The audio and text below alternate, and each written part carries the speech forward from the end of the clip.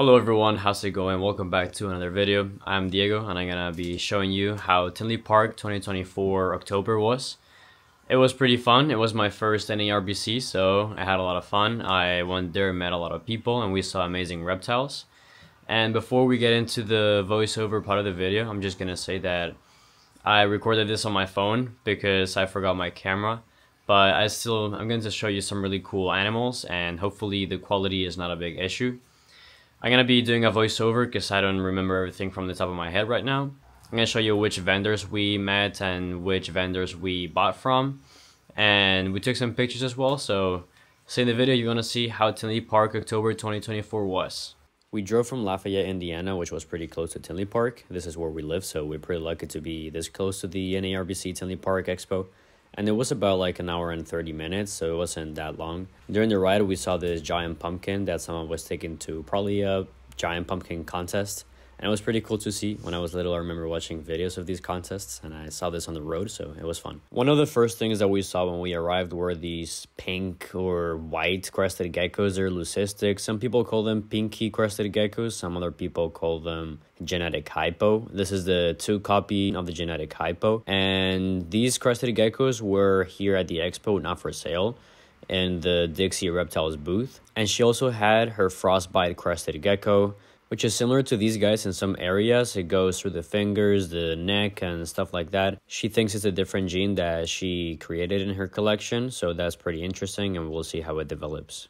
After that, we went to Pangea's table, and they had some really nice crested geckos with awesome head structure, and they also had some pixels for $600 and $900.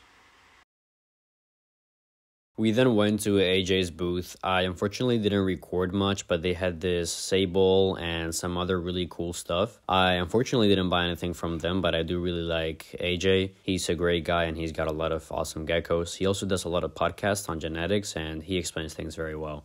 I got to take a picture with him, so that was also pretty fun.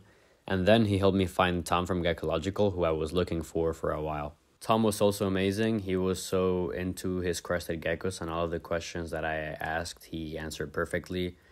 He is really nice. He's got crazy lines as well. I love the cold fusions, and I was really close to buying a female from him.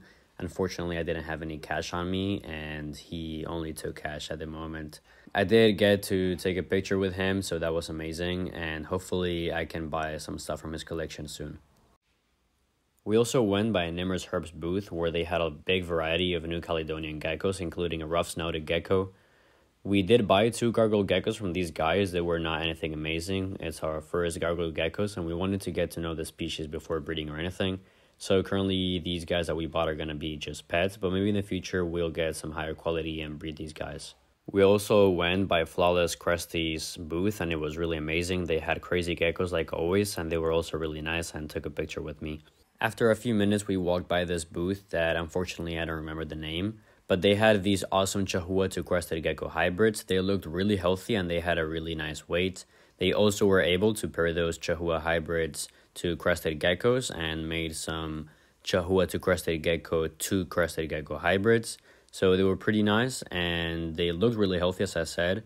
I think this guy is doing it in the safest way possible and hopefully the buyers don't mix these things up and muddy the waters.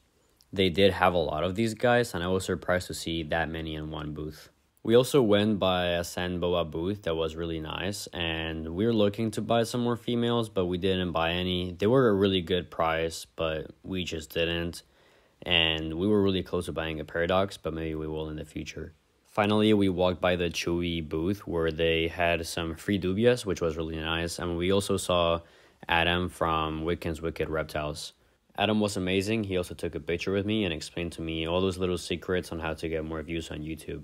Overall, it was an amazing experience. I really liked being recognized by some people, which I never thought I would because I only have a small follower base on YouTube and Instagram. So it was amazing being able to see people that knew me. And honestly, it was also great to meet my inspirations and all the influencers that I see online. I'm really looking forward to the next NARBC and I hope that I can get to meet all of the other people. Alright guys, thanks for watching. That's all I have for today. If you like this video, please like, subscribe, and I'll see you in the next video. Bye.